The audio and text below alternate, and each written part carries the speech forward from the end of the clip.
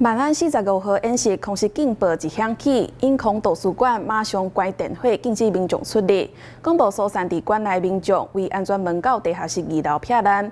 另外，当桥里也实施车道禁空，车辆停靠路边。附近里面也就近到图书馆的地下室停车场来避难。有家长就着演习，和小朋友来学习如何逃生、加紧急疏散。规个演练过程，会当是讲非常顺利。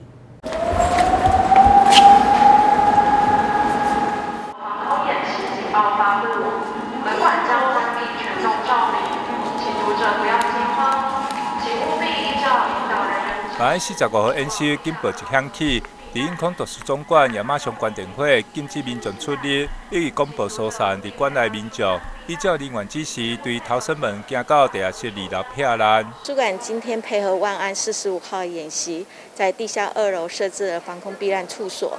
那面积有六千六百零五平方米，可容纳人数是八千八百零六人。那目前馆内有三百人左右。我们遇到空袭警报发布时，会立即的关灯、关闭门窗。那各楼层的引导人员会就定位开始广播，请民众呢依照呢啊引导人员的一个指示，从安全楼梯逐层的往下到地下二楼啊进行疏散避难演练。另外，伫东街里也实施道路禁空，车辆停靠路边。附近里面由警察甲公所人员指挥来到图书馆地下室停车场避难。市长委提解来进步处长陈宗彦，伫军方甲应空分局等单位陪同下，也来到现场视察疏散情形。东街里长陈振安也向市长等人说明疏散计划。阮有住伫遮，差不多一万几人啦吼，一万几人，阮。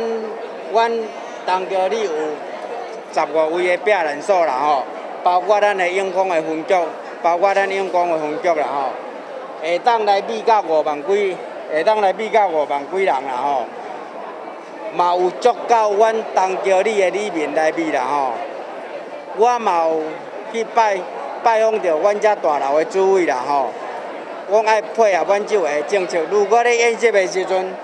爱开放地下室，互咱的里面来比。伫地下室停车场票来民众，大也依照人员指示，是就地鼓励用双手抓目睭甲耳仔。有家长就有演习，和小朋友来学习如何逃生甲紧急疏散。演习可以帮助小孩了解，就是如果万一遇到危难的时候可以怎么做，我觉得很棒。对，然后他们也一直在问我问题，为什么要怎么做？为什么要捂住眼睛？然后为什么要怎么做的？我觉得这是一个很好的方式，让他们认识这个演习的过程。妈妈有没有教教你说怎样做避难动作？有。然后怎么做？来做一次给叔叔看。然后耳朵要捂着。哦。然后头头高一点。对，这样。这样子可以保护自己，对不对？经过马演习到两点全面结束，市长感谢全面的配合，和演习会当顺利进行，并且指出平常做好准备甲演练，伫实际需要应对时阵，才当顺利避难，未产生恐慌，让民族伫新世代更有新的应变做法。记者肖建伟因空区采访报道。